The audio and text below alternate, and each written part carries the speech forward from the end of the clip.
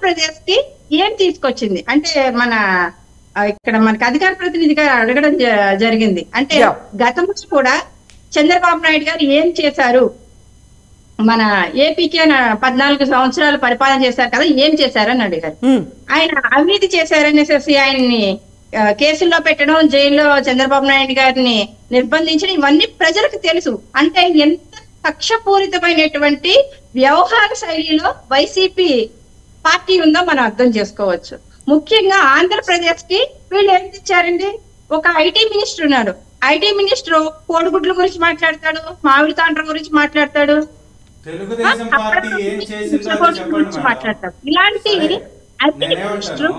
అవసరమా ఒక చిన్న- ఒక చిన్న మాట, ఒక చిన్న మాట. చెప్పినటువంటి తెలంగాణలో చెప్తాలేండి చంద్రశేఖర్ గారు. నేను చెప్తానండి ఆవిడ చెప్తానండి టైం ఉంటే ఓటమి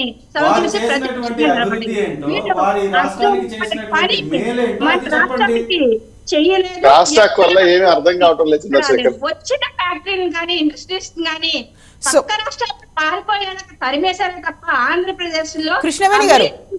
శూన్యం చేశారు. సో కృష్ణవేణి గారు కృష్ణవేణి గారు కృష్ణవేణి గారు చంద్రశేఖర్ గారు మిమ్మల్ని ఒక పాయింట్ అడుగుతున్నారు ఒక క్వశ్చన్ వేస్తున్నారు. ఆ. వైఎస్ఆర్ కాంగ్రెస్ పార్టీ మీద విమర్శలు చేయడం వైఎస్ఆర్ పార్టీని గద్దె దించకుండా గద్దె దించడం కోసం మీరు ప్రయత్నం చేస్తున్నారు అది మీ విధానం చెప్పుకున్నారు సంతోషం. ప్రతిపక్షంలో ఉన్నారు కాబట్టి మీరు అదే పని చేస్తారు. గతంలో కూడా చంద్రబాబు నాయుడిని మోయడం కోసం మీరు పోటీ చేయలేదు. అది ఎందుకు చేశారో మీరు ప్రజలకు ఆల్రెడీ చెప్పారు. ఆయన చాలా అనుభవం ఉన్నటువంటి నాయకుడు. ఈ రాష్ట్రం అభివృద్ధి పదంలో ముందుకు వెళ్ళాలి అంటే ఆయన్ని సీఎంగా చేసేటటువంటి ఆలోచన వలన ఈ రాష్ట్రం అభివృద్ధిలోకి ముందుకు వెళ్తుందని మీరు చెప్పారు. ఎస్ ప్రజలు కూడా నమ్మారు. మీకు ప్రభుత్వం ఏర్పాటు చేసేటటువంటి అవకాశం ఇచ్చారు. ప్రభుత్వంలో మీరు కూడా భాగస్వామి. వెనక నుండి ముందు నుండి అన్ని వైపుల నుండి మీరు సపోర్ట్ చేశారు. ఆ యొక్క కాలంలో రెండు వేల పద్నాలుగు నుంచి పంతొమ్మిది వరకు. ఈ రాష్ట్రానికి చేసినటువంటి ఒక మంచి ఘనకార్యం ఏంటో మీరు చెప్పాలి. రెండవది వైఎస్ఆర్ కాంగ్రెస్ పార్టీ విమర్శలు చేస్తున్నటువంటి మీరు వారి పరిపాలనకి మా పరిపాలనకి ఏ విషయంలో అయినా పోలిక పొంతన ఉన్నటువంటి ఒక్క పని గాని మీరు ప్రయత్నం గాని వాటికి నేను ఆన్సర్ చేస్తాను నా క్వశ్చన్ కూడా వాళ్ళు ఆన్సర్ జనసేన వారికి జనసేన వారి తర్వాత మీరు కూడా చెప్పండి. జనసేన నేను చేస్తాను. వారికి start చేస్తున్నారు. ఒక్క నిమిషం ఒక్క నిమిషం ఒక్క నిమిషం ఒక్క నిమిషం. ఇవాళ ఏపీ రాష్ట్రంలో విద్యా వ్యవస్థ ఒక్క నిమిషం అమ్మా ఒక్క నిమిషం. విద్యా వ్యవస్థ మీద కానీ వైద్య వ్యవస్థ మీద కానీ ఓవర్లాప్ అవుతుందండి. కృష్ణవేణి గారు ఒక క్షణం అండి. చీకటి ఒప్పందాలు చేసుకుంటే దాన్ని మా అధ్యక్షుడు పవన్ కళ్యాణ్ గారు ఎలా దీక్ష చేసి విశాఖ ఉక్కుని కాపాడి. దాన్ని నిలబెట్టారో దానికోసం ఇప్పటికీ ఎలాంటి పోరాటం చేస్తున్నారో అందరికీ తెలుసు. మీరు కాంగ్రెస్ పవన్ కళ్యాణ్ గారు కాపాడుతున్నారా?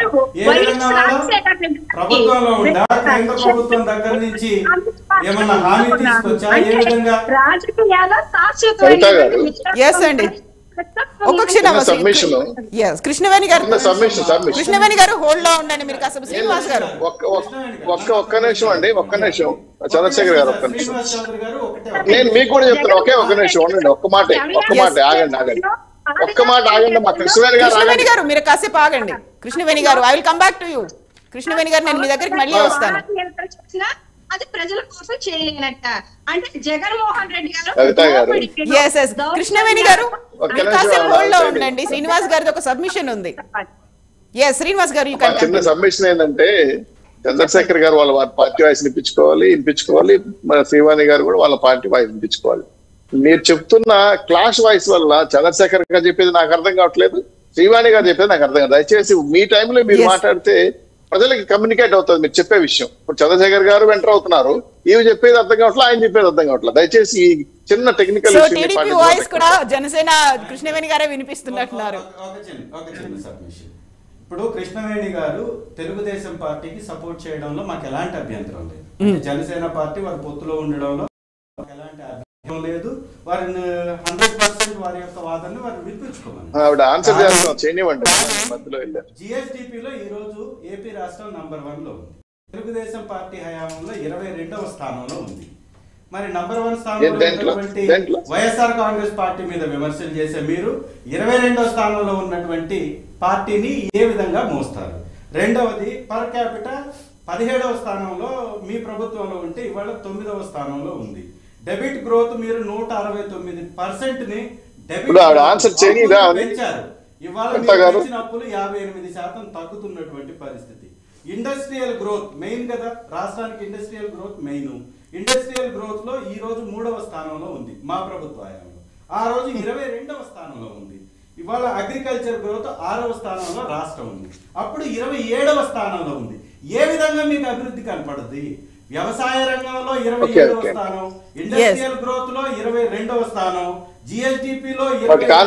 చెప్పండి ఒకసారి. ఒక్క నిమిషం ఆన్సర్ ఇవ్వడానికి రెడీగా ఉన్నారు చంద్రశేఖర్ గారు అంటే వ్యవసాయ కాకి లెక్కలమ్మా తప్పుడు లెక్కలు నా లెక్కలు నేను ఒప్పుకోను చెప్పే లెక్కలు కాదు అవన్నీ తప్పుడు లెక్కలు చెప్తున్నారు ఆయన అది కరెక్ట్గా గణాంకాలు సార్ ఇవి ఆర్బీఐ ఇచ్చినటువంటి గణాంకాలు నేను నా- నా- నా లెక్కలు చెప్తానండి. రీసెంట్గా నా లెక్కలు చెప్తానండి. చంద్రశేఖర్ గారు ఒక్క నిమిషం అయితే మీరు అడిగిన క్వశ్చన్ ఆన్సర్ చేయడంతో పాటు మిమ్మల్ని కూడా రెండు క్వశ్చన్లు వేస్తారు చెప్పండి. జనసేన వారిని చేయమనండి. జనసేన వారిని ఫస్ట్ చేయమనండి.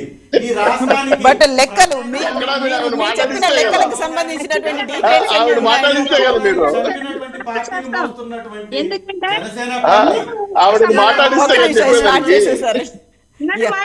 జనసేన అడిగారు ఆంధ్రప్రదేశ్లో ఆడపిల్లల అక్రమ రవాణాలో ఆంధ్రప్రదేశ్ రాష్ట్రం ఏ స్థానంలో ఉంది? గంజాయి డ్రగ్స్ మాదక ద్రవ్యాలు స్థానంలో ఉంది. స్థానంలో ఉంది? మధ్య ఇరవై రెండవ స్థానంలో ఉంది. స్థాయిలో ఉంది. ఏపీ అమలు రాష్ట్రంలో అమలవుతున్నటువంటి మద్య విధానం బాగుంది బేష్గా ఉందని కేంద్రమే కితాబిస్తుంది వీటి గురించి ఆన్సర్ చేయండి చంద్రశేఖర్ గారు అమ్మా నేను చెప్తున్నాను మద్య విధానం బేష్ అని. గురించి కానీ గంజాయి డ్రగ్స్ గురించి కానీ ఆంధ్రప్రదేశ్ మూలాల నుంచే రా ఆ ఆడియో ప్రాబ్లం వచ్చిందండి. ఆడియో మ్యూట్ అయినట్టుంది. కృష్ణవేణి గారు. మీ ఆడియో మ్యూట్లో ఉంది కృష్ణవేణి గారు ఏం వినిపించట్లేదు. సో శ్రీనివాస్ గారు మీరు కంటిన్యూ చేయొచ్చండి. ఎస్ ఎస్ మంచి ఆ క్వశ్చన్ వేశారండి ఆ కవిత గారు. ఇప్పుడు జగన్మోహన్ రెడ్డి గారి పరిపాలన నాలుగు సంవత్సరాల ఏడు నెలలు అయింది కదా. ఈ నాలుగు సంవత్సరాల ఏడు నెలలలో వీళ్ళు ఇచ్చిన హామీలు ఎనభై ఏడు శాతం లబ్ధి తొంభై ఏడు తొంభై ఎనిమిది శాతం సంక్షేమం వంద శాతం అభివృద్ధి.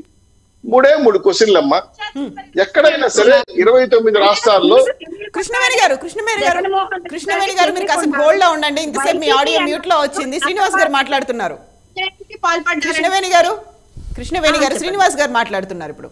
ఓకే ఎస్ ఇప్పుడు ప్లీజ్ ఇప్పుడు ఇప్పుడు ఏంటంటే కృష్ణవేణి గారు మీ వాయిస్ పోయింది అందువల్ల ఆపారు అందువల్ల నేను మాట్లాడుతాను రెండో విషయం ఏంటంటే మూడు క్వశ్చన్లలో ప్రధానంగా రాజధాని ఎక్కడుంది? ఇరవై తొమ్మిది రాష్ట్రాల్లో మాకు రాజధాని లేదు. ఆంధ్ర రాష్ట్రానికి రాజధాని లేని రాష్ట్రం. నేర ప్రభుత్వంలో నెంబర్ వన్ స్థానంలో ఉంది.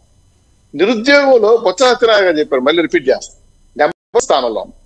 అప్పుల్లో నెంబర్ వన్ స్థానంలో ఉంది. పిల్లల ట్రాకింగ్లో నెంబర్ వన్ స్థానంలో మహిళల ట్రాకింగ్లో నెంబర్ వన్ స్థానంలో ఉన్నాం? రైతుల ఆత్మహత్యలో? నెంబర్ ఉండండి ఉండండి ఉండండి ఉండండి ఉండండి ఉండండి ప్లీజ్. ప్లీజ్ ఆగండి. ఒక్క ఇది ఆగండి నేను ఇప్పుడు చాలా దూరం. ఒక చిన్న చిన్న మీ. దగ్గర ఉన్నటువంటి గణాంకాలు నేను- రిపోర్ట్ ఇచ్చే తప్పు, నేను ఇచ్చే లెక్క చెప్పండి. ఒక్క నిమిషం ఉండండి. చంద్రశేఖర్ గారు చంద్రశేఖర్ గారు ఆగాలి. నివేదికలు ప్లీజ్ మీరు చెప్పేదానికి. అడ్డుపడితే నేనేం మాట్లాడలేను.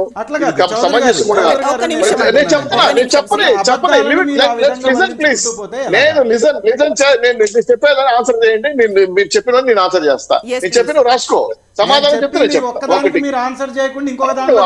చేస్తున్నాను బాబు. చంద్రశేఖర్ గారు. చంద్రశేఖర్ గారు. చంద్రశేఖర్ గారు. చంద్రశేఖర్ గారు. మీరు మీరు- ఓడిపోతున్నారని ప్రెస్టేజ్ నేను అర్థం చేసుకోగలను.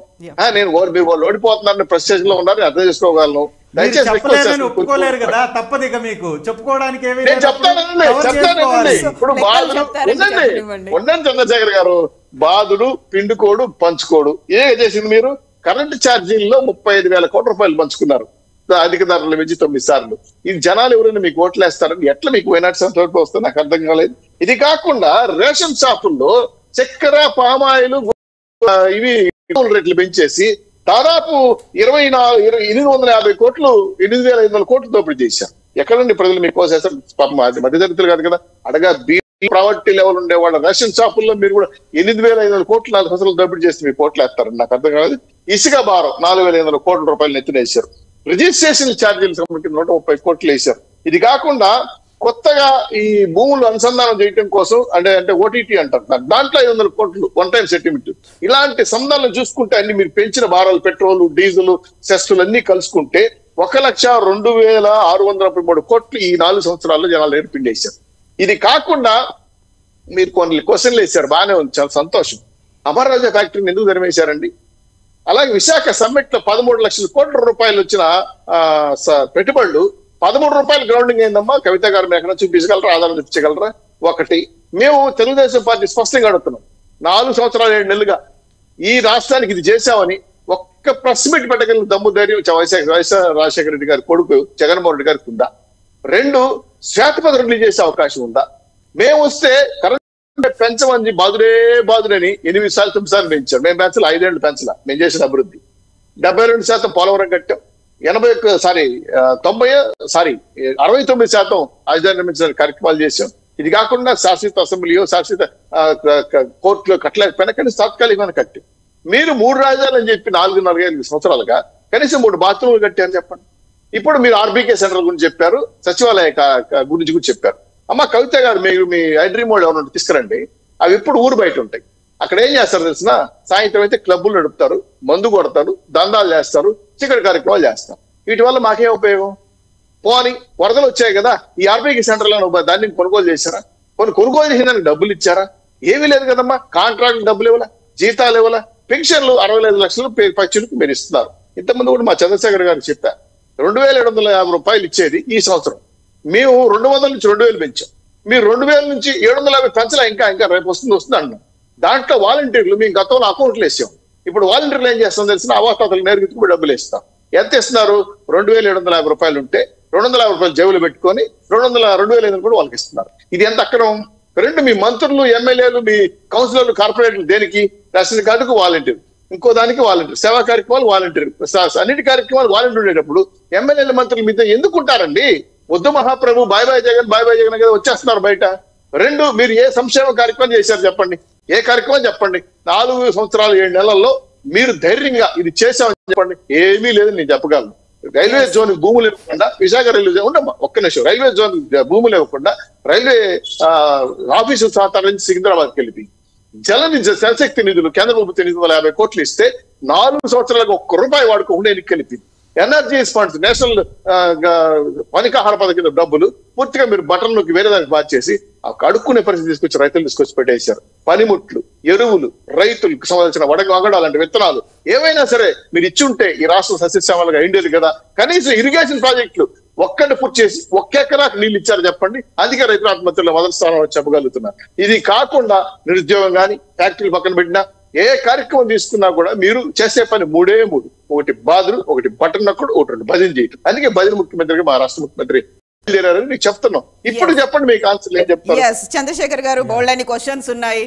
ఒక్కదానికి సమాధానం చెప్పలేకపోయారు నేను అడిగినటువంటి లేదు శ్రీనివాస్ గారి దగ్గర నుంచి కూడా బోల్డ్ నేను- క్వశ్చన్స్ చెప్తాను నేను చెప్తాను నేను చెప్తాను. రీసెంట్గా ఒక నేషనల్ క్రైమ్ రికార్డ్స్ బ్యూరో వాళ్ళు కేంద్ర ప్రభుత్వ సంస్థ అది బీజేపీ వారి ఆధ్వర్యంలో ఆధీనంలో ఉన్నటువంటి సంస్థ వారి ప్రభుత్వ ఆధీనంలో. మరి పొత్తులో ఉన్నటువంటి ఈ జనసేన పార్టీ కానీ పొత్తు కోసం వెంపర్లాడుతున్న తెలుగుదేశం పార్టీ కానీ ఆ రికార్డ్స్ని బయట పెట్టొచ్చుగా? చాలా ఛానల్స్ ఉన్నాయి చాలా పత్రికలు ఉన్నాయి. ప్రింట్ అయ్యొచ్చుగా? ఆ ప్రింట్ వేస్తే వీరి స్థాయి ఎక్కడ ఉంటుందంటే బీజేపీ పార్టీ నడిపిస్తున్నటువంటి మధ్యప్రదేశ్లో ఉత్తరప్రదేశ్